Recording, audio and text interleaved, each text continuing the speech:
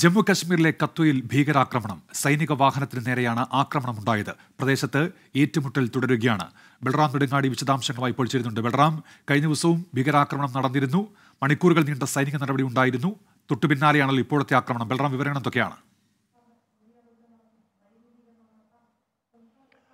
ഉന്മേഷ് ഇന്ന് ഉച്ച കഴിഞ്ഞ് മൂന്നേ മുപ്പതോടുകൂടിയാണ് ജമ്മു കശ്മീരിലെ കത്വയിൽ സൈനിക വാഹനങ്ങൾക്ക് നേരെ ഭീകരാക്രമണം ഉണ്ടായത്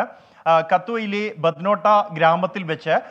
സംയുക്ത സേന സഞ്ചരിക്കുകയായിരുന്ന വാഹനത്തിന് നേരെ ഗ്രനേഡ് ആക്രമണം നടത്തുകയായിരുന്നു ഈ ആക്രമണത്തിൽ രണ്ട് സൈനികർക്ക് പരിക്കേറ്റു എന്നാണ് ഏറ്റവും ഒടുവിൽ ലഭിക്കുന്ന വിവരം തൊട്ടു പിന്നാലെ തന്നെ സൈന്യം തിരിച്ചടിച്ചു ഈ ഭീകരവാദികൾക്ക് നേരെ സൈന്യം വെടിയുതിർത്തു മേഖലയിൽ ഇപ്പോഴും ഏറ്റുമുട്ടൽ തുടരുകയാണ് പ്രദേശത്തേക്ക് കൂടുതൽ സൈനികരെ വിന്യസിച്ചിട്ടുണ്ട് ഈ ഈ മേഖല എന്നുള്ളത് പഞ്ചാബിലെ പത്താൻകോട്ടുമായി ചേർന്ന് കിടക്കുന്ന മേഖലയാണ് അതുകൊണ്ട് തന്നെ പത്താൻകോട്ട് അടക്കമുള്ള ഇടങ്ങളിൽ നിന്നുള്ള സൈനികരോട്